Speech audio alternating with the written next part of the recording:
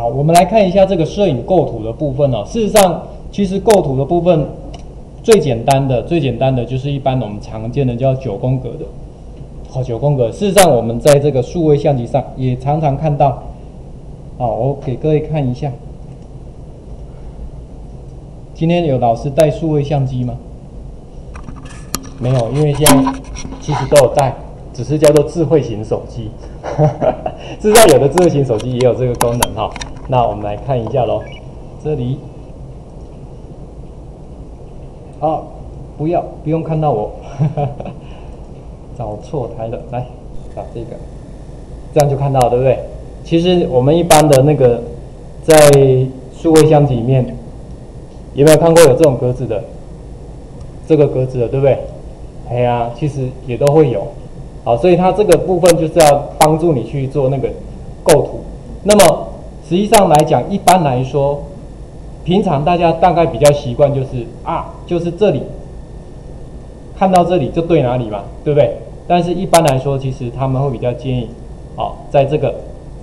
四个这个所谓的交叉点上，也就是说你的主题你摆在这几个地方，可能在构图上看起来会比较有张力一点。当然这不是绝对，只是他们归纳出来一个结果，大概是像这样。那你也可以考虑看看。那么万一你拍的时候就平常就是十字摆中间的怎么办？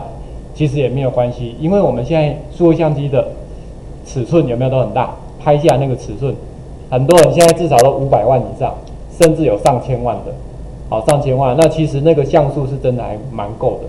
像我们一般现在讲到这个 2K、4K 有没有？就大的那种电视啊，好，二零四八或四零九六乘多少哈？那那个其实都还好。像我们一般 HD 的话，Full HD 哈，高画质的那一种，一九二零大概是多少？就是差不多两百万像素左右而已，差不多两百万像素而已。好，所以其实大致上还够，两百多了，好，两百多万那。所以你要拍那么大的原因只有一个，就是什么？要把它洗出来，洗比较大张。像我一般在去看人家拍婚纱，对不对？拍婚纱的时候就要比较大张嘛，那谁细找跟我打错？你这个解析度不够就不行。好，那所以这个可以像这样。那么待会呢，这个地方哈，各位呢，您可以到我们顺便利用这个时间呢，您可以来这边把这个软体先下载下来。把它解压缩一下，好，里面呢，我们包括了，主要会包括了这几个，这些软体是，呃，您在那个网络上也都有，我都有放在就是我的部落格上哈。那您进来之后，我们主要是包括这几套，我们有给各位的是这几套哈。那么，P 个呃，PhotoCap 这边，您找到了之后，您找到之后呢，直接点开。里面你就可以看到这一只小驴子，点两下就可以了，这样 OK。好，点下面这个，这个，那它就可以执行了。其实它的容量还蛮小的，所以如果您放在随身碟里面的话，大概三十几 mega，好，解压缩以后大概三十几 mega，其实应该还好。哎，您可以从这边打开，那么。呃，为了怕说各位呢，您可能没有带那个自己的照片，对不对？今天有没有人带自己照片的？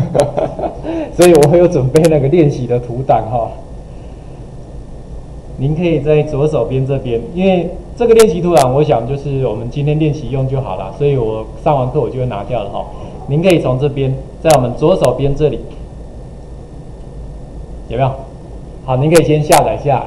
好，如果说你手边刚好没有适合的。那待会可以用这边来做，或者如果您呃有很多照片都有放在网络上的一些网络相簿啊哈，你也可以从那边抓下来，真正是自己试着用看看，好，好，那等一下呢，我们等各位都开好了，我们就来试看看。如果说哎你当初拍照的时候没有构图好，那么我们可以利用裁切的方式来帮你做所谓的重新构图，好，重新构图，那这样你可以看看说哎使用前使用后有没有不一样。现在这个大家都好了之后呢，我们现在就要来试一下哈。好，那么你要拍照片的方法有几种？最简单的，当然大家最厉害的就是从这边载入，对不对？好，从这边载入，啊，这是这个没有问题。那么它除了这里以外，其实还有另外一种方式。其实您可以看一下下面，您看一下在下面这边，在比较下面这里有没有一个叫做浏览照片？哎，其实它也可以就是变成从下面做一个档案总管一样。好，所以您只要从下面这边，它有一个变更资料夹，哈，在最下面这里，哈，在最下面这里，您可能后面的会比较稍微看不到，哈，在最下面这边有变更资料夹，你只要把它选择到您要看的资料夹，它下面那个缩图就会自动跑出来了。哎，您从这边做的话，应该会比较快一点哦。从这边你看按一下，好，我来这边我就来找我的档案放在哪边。好，我档案放在哪边？好，我的是放在这边哈，所以我按确定之后呢，您可以看到在下面这边，它这边的资料夹就会跑出来。那里面呢，我有一个这个影像的缩放跟裁切的这个资料夹，有看到哈？在下面这里哈，你可以直接点进去就好了哈。点进去呢，您就可以看到里面有几张啊，有三张哈，有三张。那么我就先随便挑一张。那你要怎么挑？直接丢到上面去就好，拖曳丢到上面。上面那个是编辑区哈，里面有几张哈。你比如说，哎，我就丢这一张上来，这样就可以。这一张是已经做好的，好，这是裁切下来的。那么我丢这一张。有没有像这样？对，像像这边的照片，你都可以很明显，就是人就是在正中间，没错吧？大家标准都这样拍嘛，因为人就拍人就放在中间就好。那么你要怎么做比较好呢？如果说您要拿去冲洗的，那当然最好就是要照冲洗的比例，对不对？请问大家现在都洗几乘几的？现在大部分都洗四乘六比较多嘛？以前我们是洗三乘五，所以那个比例不一样。但是我们数位相机拍下来，请问我们数位相机拍下来比例是多少的？哎，这个也要注意一下。你有没有注意过？那你智慧型手机拍下来呢？智慧型手机应该大部分比较没问题，大部分都是宽的，就是呃就是宽荧幕的，就十六比九的应该比较多。但是传统的相机就有分，好，你看是十六比九还是什么四比三？实际上我们一般比较。以前的相机都是四比三的，可是跟四乘六有没有发现比例不一样？因为四乘六是三比二哦，所以其实您可以从这边哈，您看一下来，从上面这里影像，您找到这里有一个叫裁切，好，您从上面这个影像这一个裁切里面呢，我们会有一个叫做指定长宽比的。好，如果说，因为其实你现在比例，事实上好像我不知道各位有没有去洗过十六比九的照片，有没有去把它洗出来过？老板改光光那全部谁去宽做啊？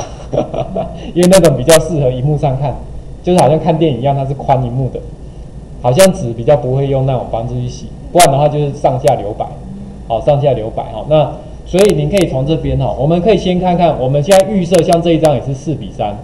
标准的四比三，那所以呢，您从这个地方进来，它里面有很多比例让你选哈。好，那我现在就从这边进来，裁切指定长宽比哈。好，我们从这边你看，看你要洗的相片是哪一种？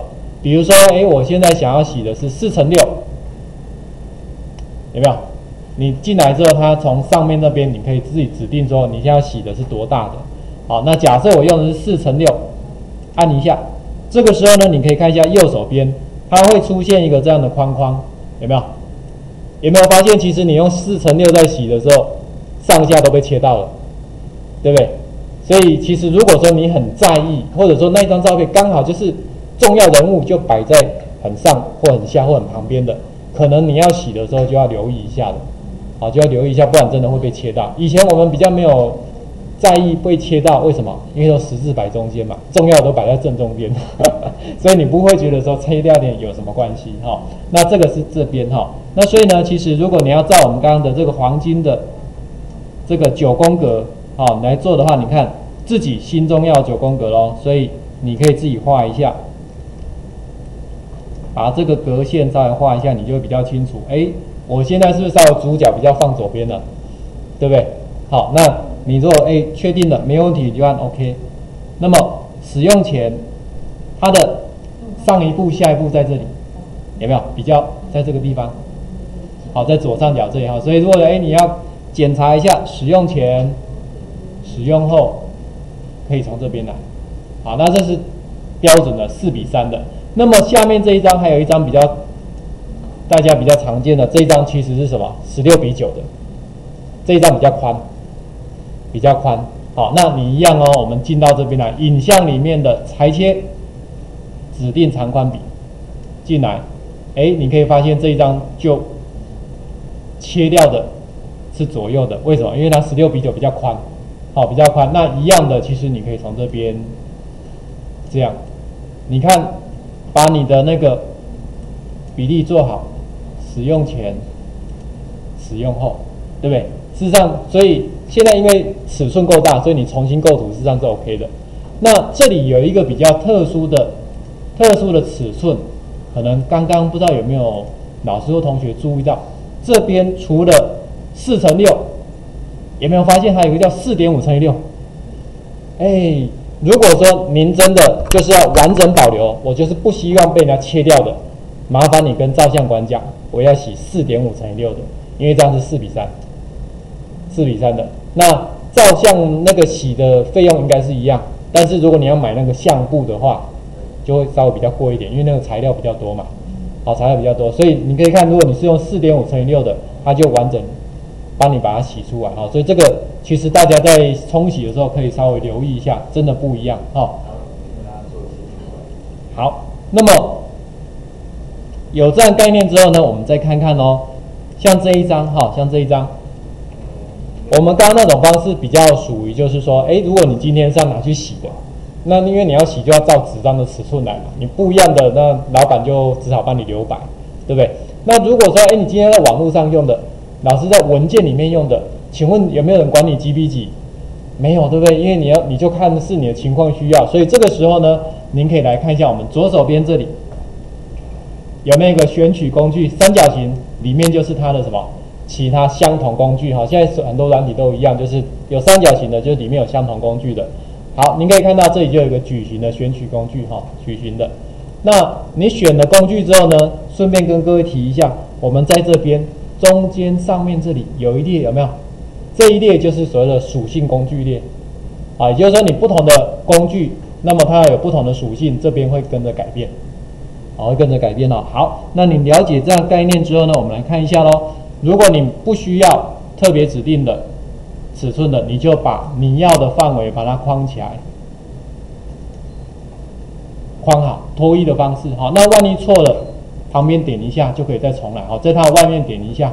那如果矩形框 OK，但是位置差一点点，你移到里面来就会变移动，好，就会变移动。如果没有问题的，就按右上角这里有没有一个裁切？对不对？右上角就有个裁切，你就可以把你要的范围把它保留下来，那这样你就可以把它存出来了。好，所以这个是我们先看一下它这个 PhotoCAD 基本的功能。您可以发现说，哎，这样在裁切、在重新构图上就相对比较容易，这样没问题，对不对？OK，好，好，这一段就先到这。